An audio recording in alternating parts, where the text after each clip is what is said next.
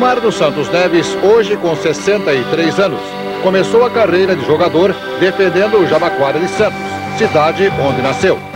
Transferiu-se para o Corinthians, onde tornou suas qualidades ainda mais evidentes.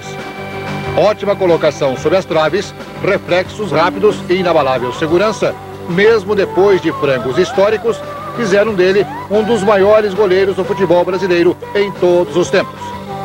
Foi oito vezes campeão paulista, três pelo Corinthians e cinco pelo Santos. Bicampeão da Libertadores e do Mundial Interclubes pelo time da Vila Belmiro. Ganhou seis vezes o torneio Rio-São Paulo. Gilmar disputou três Copas do Mundo, sendo campeão em 58 na Suécia e 62 no Chile. Jogou 103 vezes pela seleção do Brasil. Atualmente, Gilmar é empresário no ramo de automóveis. Pois é, a história do futebol brasileiro é feita em capítulos interessantes, curiosos e principalmente inesquecíveis. Por isso mesmo, eu gostaria de perguntar ao goleiro Gilmar dos Santos Neves, com passagem importantíssima e também inesquecível pela seleção do Brasil, clube, seleção brasileira, se a data de 9 de maio de 1956 lhe traz alguma coisa na lembrança. É, Gilmar?